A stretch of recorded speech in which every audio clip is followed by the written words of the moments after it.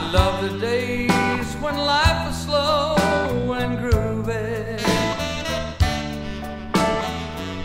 We could watch James Dean at the drive-in movie from the early days of Elvis to a dance we call a stroll.